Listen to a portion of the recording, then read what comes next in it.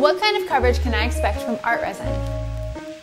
Art resin coverage can depend on a couple of different things, but as a standard, we say that the starter kit, which is 32 ounces, can cover 8 square feet. So the one gallon kit, the studio kit, can cover 32 square feet, and the two gallon professional kit can cover roughly about 64 square feet. For help with how to calculate how much resin you'll need, there's a calculator on artresin.com to help you. I always recommend mixing up just a little bit extra than what you think you need. It would suck to have to remix stuff right at the very end. So keep your questions coming in the comment section below. For more FAQ answers, how-to videos, and other cool stuff, you can take a look at these and visit artresin.com for more.